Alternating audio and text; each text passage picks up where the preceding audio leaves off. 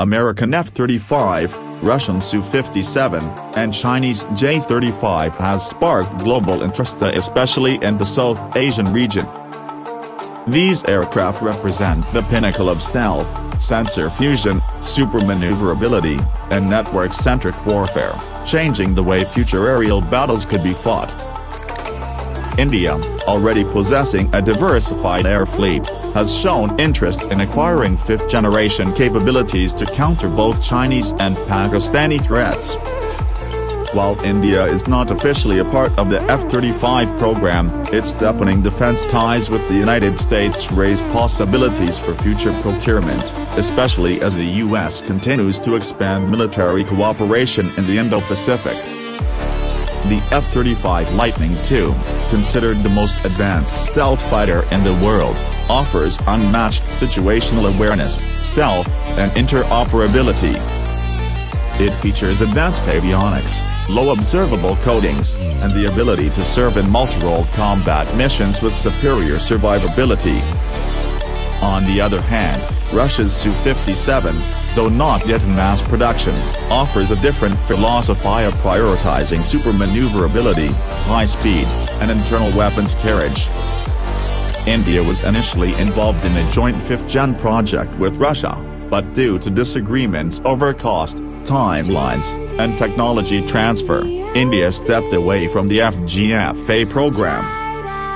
However, renewed interest in the Su-57 or modified export variant remains a possibility, especially as India seeks to maintain a technological edge over Pakistan and match China's growing military strength.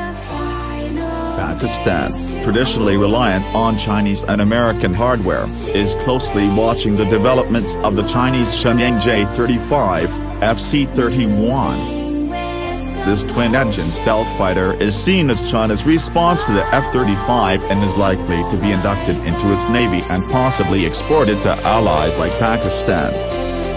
The J-35 features modern stealth shaping, internal weapons bays, and advanced sensors, making it a strong contender for Pakistan's future Air Force needs.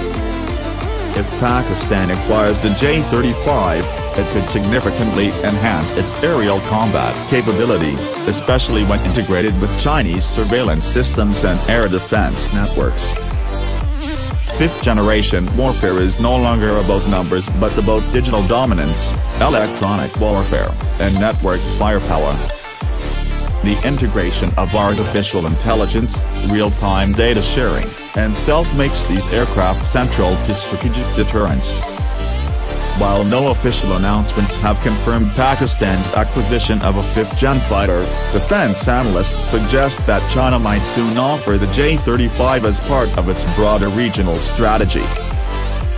Ultimately, the deployment of these fighters in South Asia could shift the balance of air power with India aiming for technological parity with Western powers and Pakistan seeking parity through Chinese innovation, the airspace over the subcontinent may soon witness the silent shadows of fifth-generation jets.